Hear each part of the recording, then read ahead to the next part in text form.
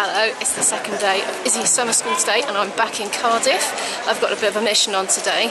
I've reached that point in life where I need reading glasses and other glasses. And last time I went to the opticians, it was quite, it was like a month ago or something, so I'm really overdue to do this. But they said I've got three options.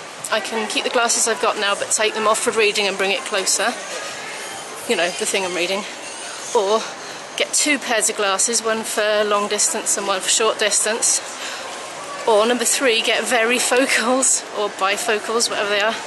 And I didn't fancy options one and three, so I've dug around at home. I found an old pair of prescription glasses, and I've got these as well. They're on my nose now, and I'm gonna make these ones my long distance glasses, and I'm gonna make my old prescription sunglasses into my new reading glasses, and that way I shouldn't have to pay anything.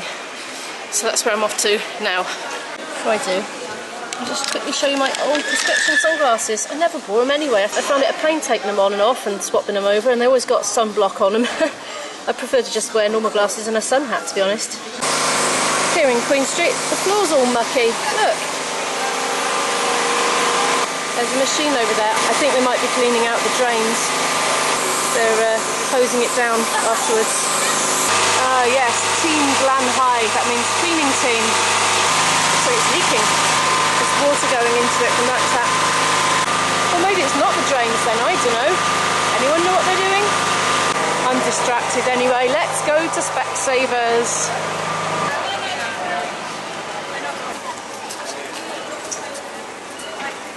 Well, I've been to Specsavers. They couldn't do it today, but they took my reading glasses frames and they're going to have them ready by Friday.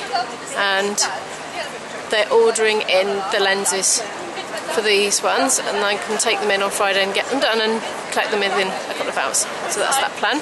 And right now I'm going to eat some leftover pasta from Izzy's dinner last night that she didn't finish. It seemed to make sense to just bring it rather than buy food out. Look what I suddenly remembered I had.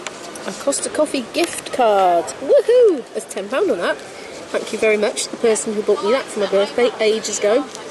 I'm going to go and find a Costa with a PowerPoint and a table where I can do some editing. There is one right opposite, as it so happens.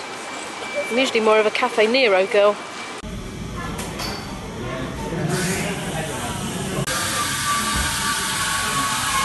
Oh yes, that's what we wanted.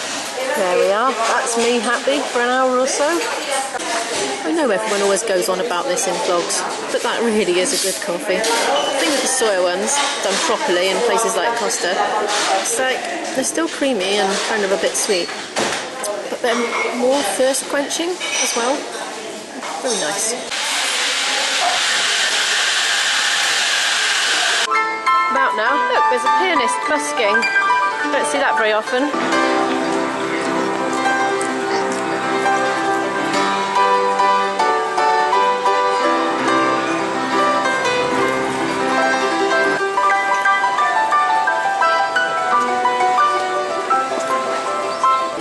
Got about an hour and three quarters to spare now and then I have to go and meet the invisible boyfriend because I'm rehearsing again tonight so my dad's going to get Isabella and have her overnight and drop her back at the summer school in the morning.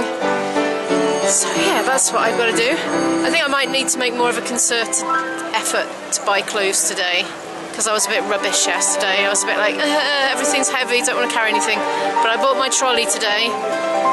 Right I'm off to H&M again just come into Grand Arcade. That's this one, and very grand it is. it's got an H&M in it.